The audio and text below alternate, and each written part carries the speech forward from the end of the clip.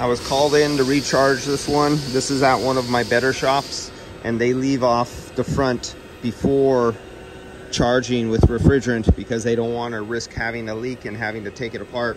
So the technician isn't here today or, you know, he was finished with the work so he went home early.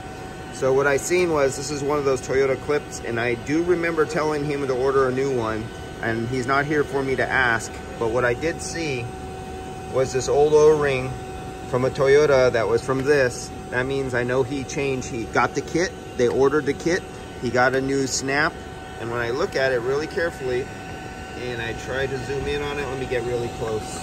There we go, let's get up in there where we're at. Now zoom, buddy, get in there. There we go.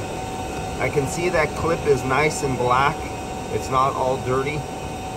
This is an older car, so I know he changed that clip so I don't have to worry about a leak.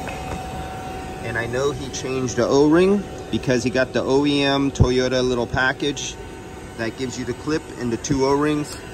So I know he's not gonna have a leak so I could continue on and charge this and not worry about it blowing out on me or out on them later because of trying to reuse the clip. All right, that's it on this one. I don't have to worry they don't have to worry and the customer won't be angry later on if it blows out a month later.